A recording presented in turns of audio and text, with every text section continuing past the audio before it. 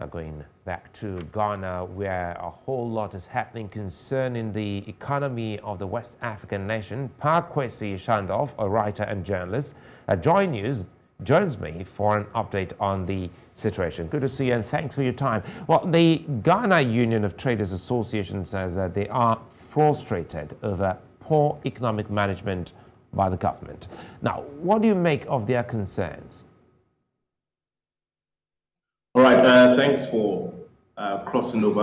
Uh, regarding the concerns of the aggrieved uh, traders, I would want to state and honestly that uh, indeed their concerns are legitimate because as of now, the economic situation of Ghana is not a very pleasant one.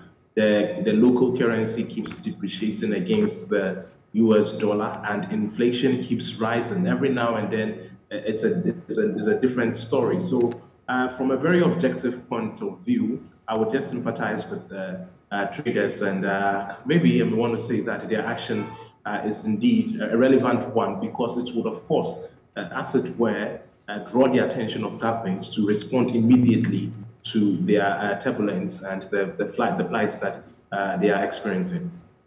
You know, economists in your country say the country has witnessed inflation at a historic high of 37% uh, in September. Uh, please help us, if you will, make sense of the events that led to this very disturbing figure. Uh, well, so um, the inflation, the, the, rate of inflation in Ghana is, is largely uh, a, a, result of the depreciation of the cedi because because of course here in Ghana we do import a lot. I mean, import uh, forms the cracks, or let me say the, the, the base of our consumption. And for the fact that the, the cedi is continuously depreciating, it is having a consequential effect on you know um, the inflation. In the latest computation that was done by the Ghana Statistical Service, some of the elements that were implicated as as the contributing factors to the hike in inflation were transportation and fuel costs, for example. And all of these things, if you look at them cumulatively, they have a certain kind of connection with the depreciation of the cedi. So it's basically the fall of the cedi that is uh, really making situations very, very uh, tough in, in Ghana. Now, regarding the computation of the country's inflation rates, of course, uh, some experts have actually disagreed with the method uh, currently being employed by the Ghana Statistical Service. They feel that that method actually does not tell the full story, and that if a more accurate mechanism were to be used, uh, the rates that we have, 37, may even be more. But largely, it's a rather worrying situation uh, here in the West African continent, Ghana. Well, talking about West African countries, specifically Ghana, uh, is also battling the economic fallout from the Russian-Ukraine war. Uh, how, how bad is the impact of the war on the cost of living in your country? for this particular uh, narrative, it's one that I do not readily subscribe to. I don't buy into the assertion that the Russian-Ukraine war has had any adverse impact on the country's economy. Now, why do I hold this perspective? It's because prior to the uh, uh, uh the, the, onslaught of the of the of the war, I mean, things were already problematic.